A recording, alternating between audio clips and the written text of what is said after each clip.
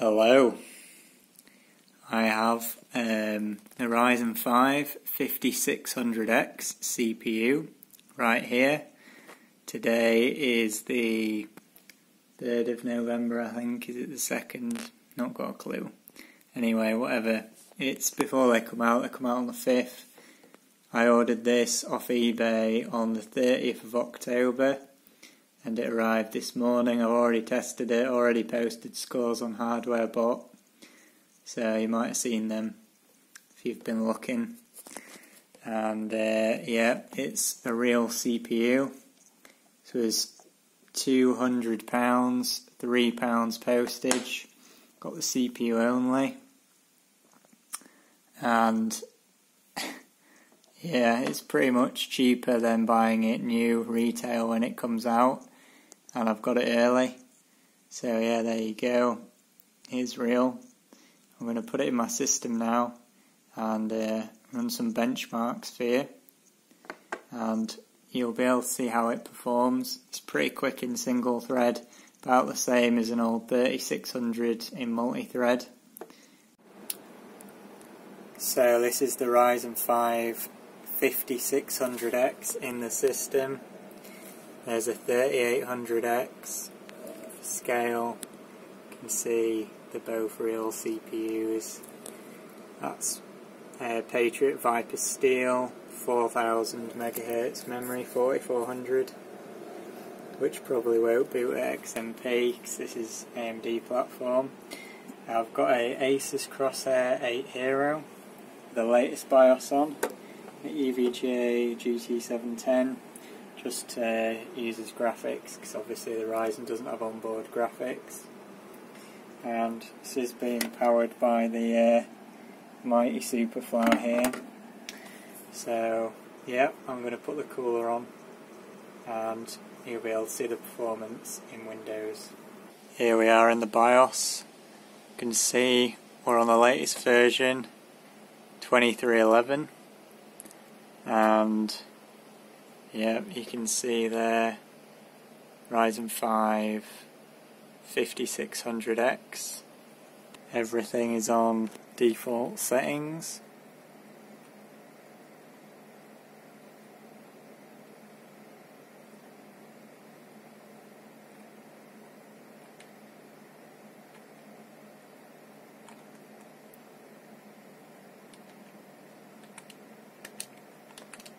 You can see XMP memory 4400 there. Let's see if it'll boot up.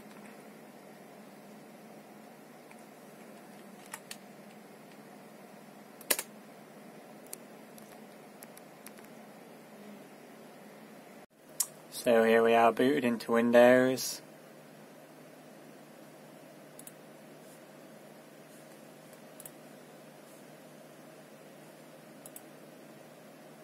Can see the awful timings there. Let's do the CPU Z bench first, because it's the first thing that comes up here now. Um, CPU should we go for maybe an 8700K?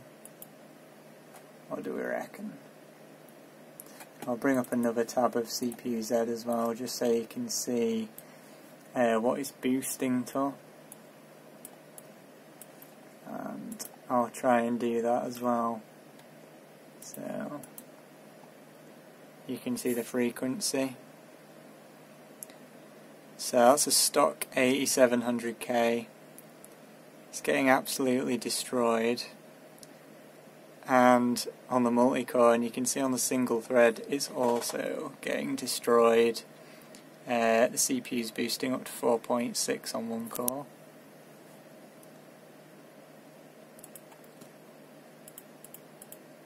What else is there on a 2700X? It's about as fast as a 2700X on the multi-core.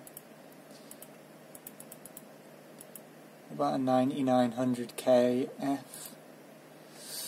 Still a single thread is faster. 3700X is a bit higher, but this is stock remember. an i9 10 850K. You can still see the single thread is way faster.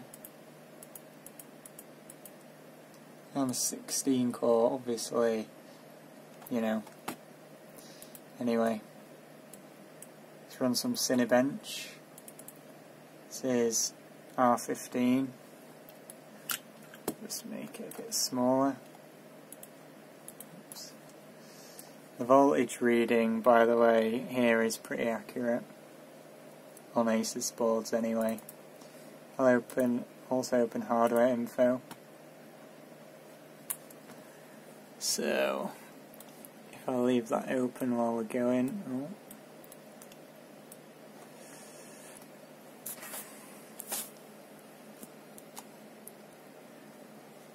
can see the temperature down here somewhere, yeah, there we go.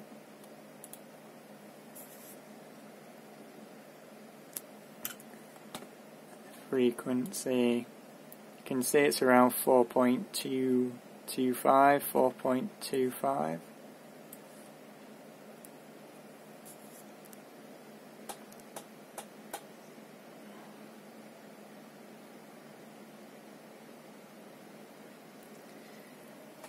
Eighteen hundred points. Not bad for stock on air cooling. Uh, you can see the temperature only reached 55 degrees, which isn't that great. What voltage was it running at? About 1.2, maybe even less. But it is trying to keep within its uh, power limit basically. 65 watt TDP, I guess.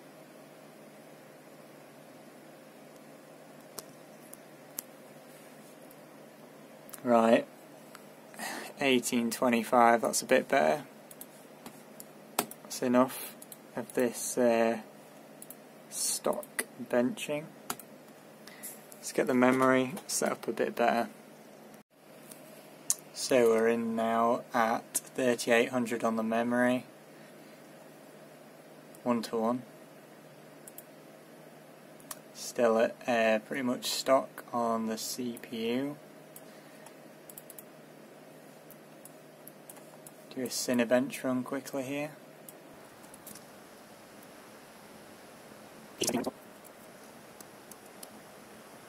Eighteen seventeen again. It's fairly rubbish. See if it will go any higher. So now I'm back in Windows and we're at 3800 C14, 1900 on the um, on-core frequency, whatever it is, FCLK, one to one. And you can see I haven't bothered setting any but the primary timings. I'm going to run the AIDA64 memory benchmark. So, let's go.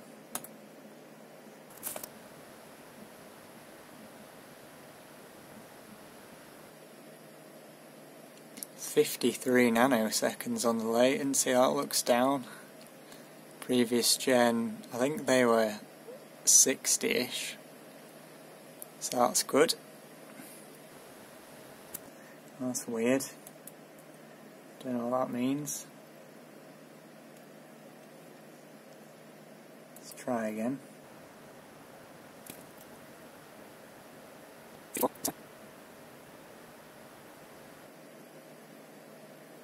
Yeah, I don't know why it's saying that. I probably need to update it. Anyway, got the uh, main memory latency there, which is the main thing. So I don't know if that's any good or not. I think this is much better than the old one. Get Geekbench 3 up.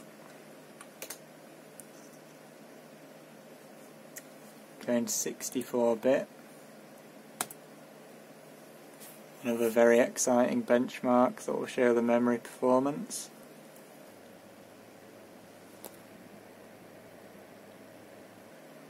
There you go, 8252 on the on the memory multi-core that is.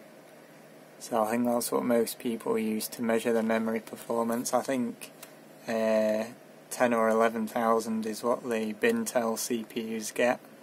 So obviously it's still not as good on the memory, but it's not overclocked yet as well. So CPU's still at stock. So let's get into overclocking the CPU. I'll just quickly set a manual voltage in the BIOS and then I'll use the Asus V-Core thing to bump it up. So here we are in Windows. We've booted in pretty much at what the uh, stock setting was getting, so 1.2 volts manually, 4.2 gigahertz fixed frequency, and 3800 on the memory. Now, if we uh, bring up Cinebench and do a quick run, you'll see we'll get about 1800.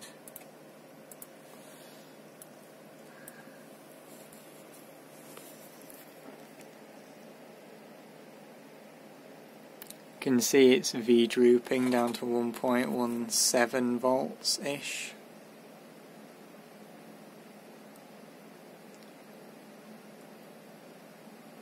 There you go, 1815.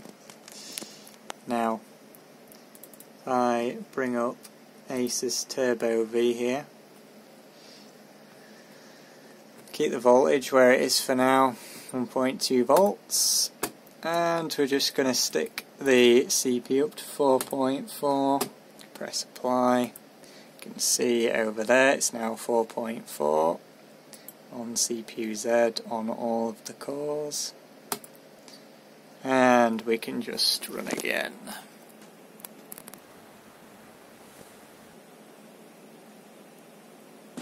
So there we go, nearly 100 extra points from my 2 second overclock. And now we're going to to 4.5 and yeah, you can see again 4.5 all core here. No trickery. Remember it was running at 4.2 originally. Might be able to hear the fan a little bit more now. Still 1.2 volts. 1.17 under load. And you can see we're now at 1953 and this is stable enough. Could pretty much run it all day. You're probably thinking oh it's all well and good being a Cinebench stable. And I would agree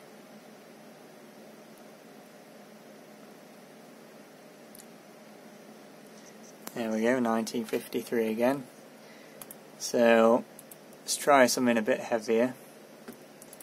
We'll go with Hardware Bot X265.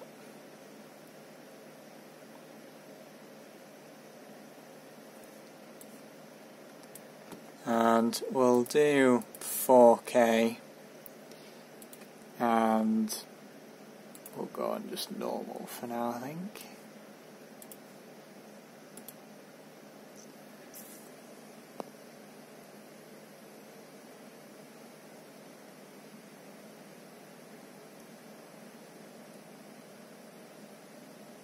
So this is like rendering a video using the X265 encoder thing. At 4K. You can see it's getting pretty decent FPS and this is only the uh, the baby 5600X this isn't like a uh, monster CPU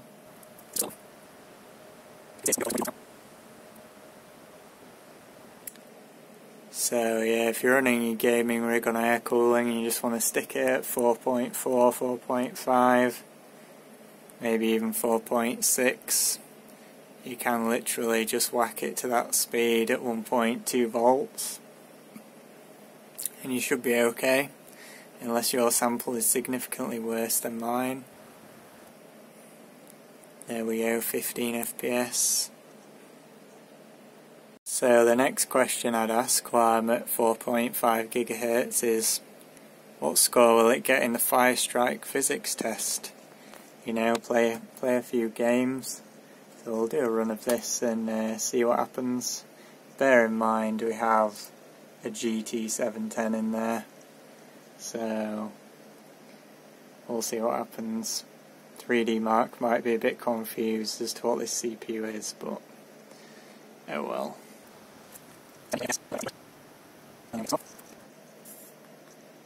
There you go, 24,000. It's pretty decent actually.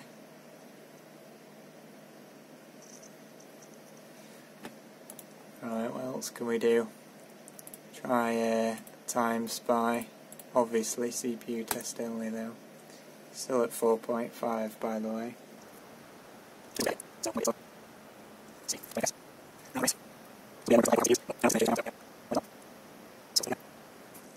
Five thousand six hundred oh no, five thousand seven hundred and sixty. Very nice. Time Spy Extreme. This test has AVX, so we'll see what happens.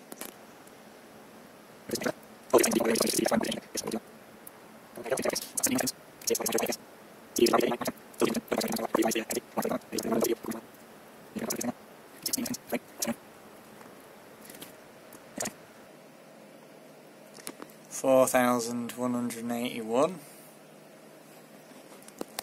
Boom. Right, well, so I think that's about it really for CPU benchmarks. There's no point doing the other ones because uh, they require potato CPUs. So we're at 4.5. I'm going to go up to 4.6. Here we go, 4.6. I'm going to run it at that and then I'll just start the camera again when it's finished. It's at 1.2 volts. Not going to change it because I can't be bothered. So off it goes. You can see it's doing the single thread test there. There you go. Can see I haven't changed it there. I was going to catch it at the end, but it was so fast I actually forgot to start the camera before it finished. It scores 253 a Ryzen 9 3900X scored 230 and a 7700K at 5.1 I think scored 220 so yeah it's faster than the Bintel and faster than the old out of date AMD these CPUs are extremely fast single core extremely fast. And we ain't even going yet, boys. right, let's get rid of this. So now that we've finished at this terrible low voltage of 1.2 volts, we are going to start to increase the voltage and see if we can go a little bit higher. So that's CPU V-core. We're going to go up to 1.25. We're going to go up to 4.7 gigahertz all core.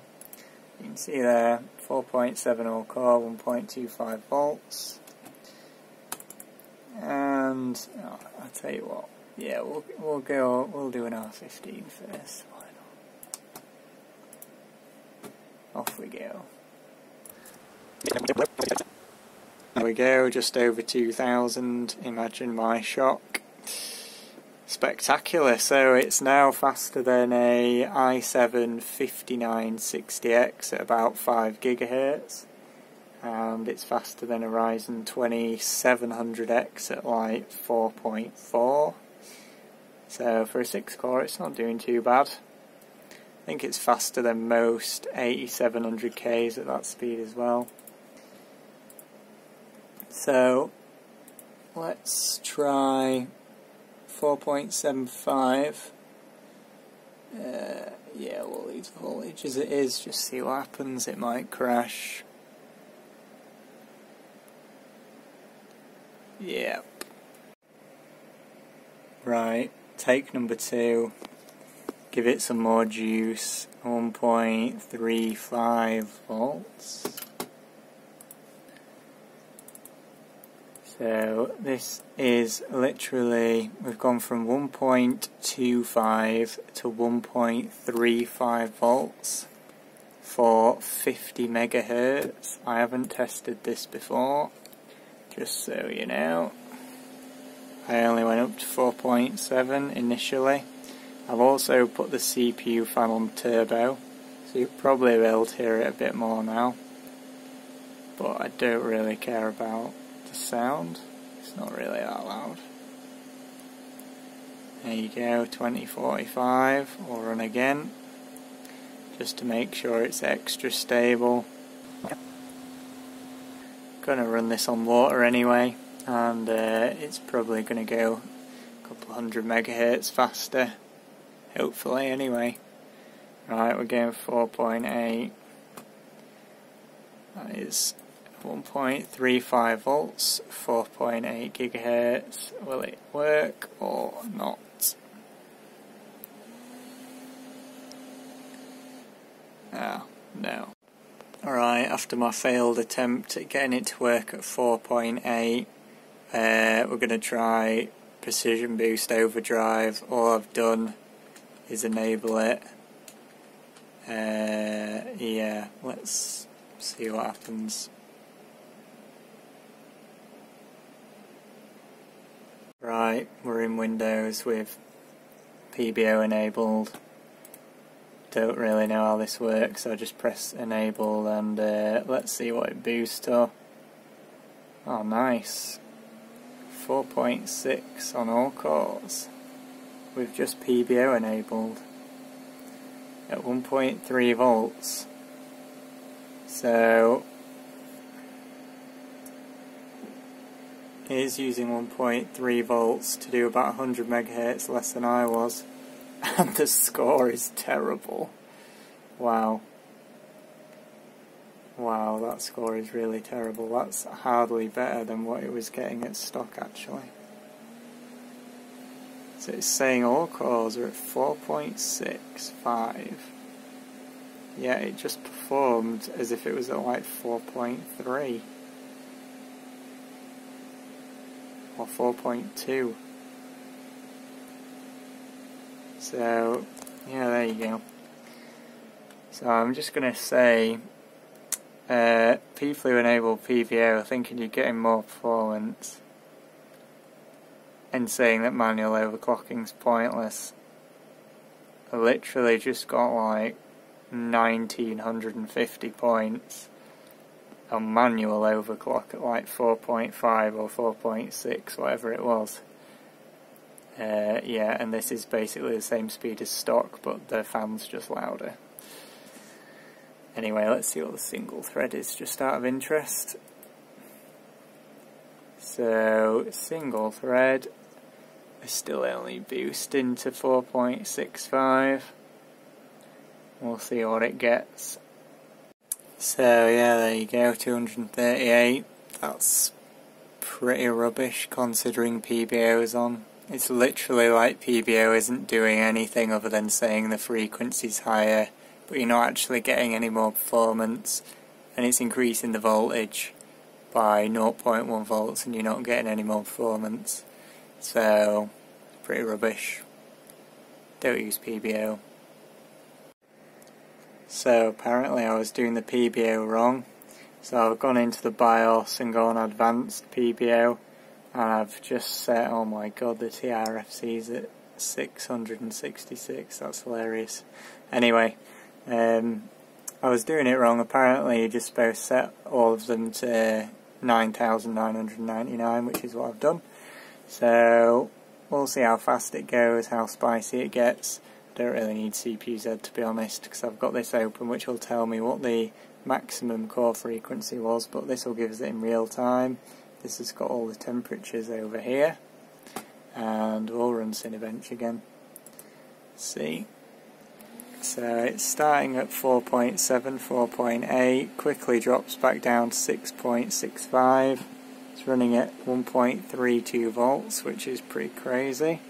And you can see it's just hitting the thermal limit at 76 degrees, 77.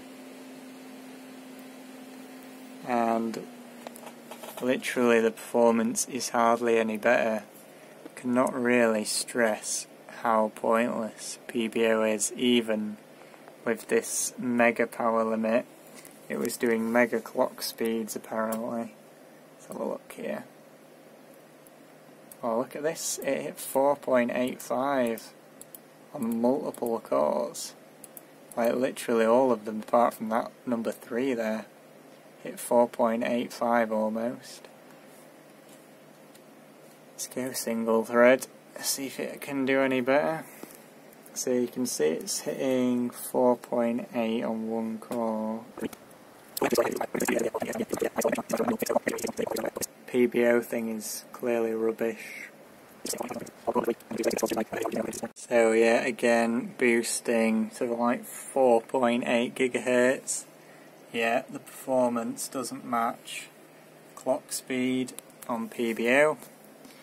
So now, I'm going to do a quick manual OC uh, at like 4.7, maybe 4.8, just to run the single thread, just to show you what it should be like. Right, so here's my manual static 4.7 across all cores and 1.25 volts, single thread. Was he getting before? 240, 230? Don't remember. Anyway, you'll see this beats it by miles in a minute. So, yeah, there you go. Nearly 260 which is a lot higher. It's more like it. PBO is a fail. Now we're going to have a word with uh, Buildzoid and see what we can do with this memory I think. So I've done a bit of memory tweaking and we've now got the memory at uh, 3800C12 and we're going to try running Geekbench for 4.7 gigahertz again and just see what score we get.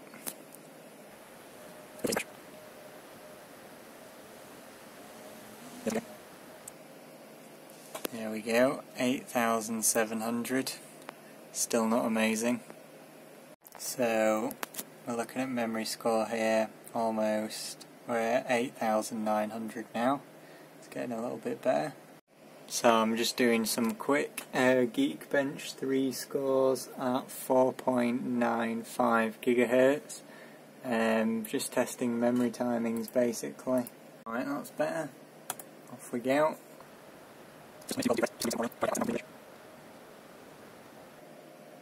Now 7,279. 9,290 on the memory, that's not too bad.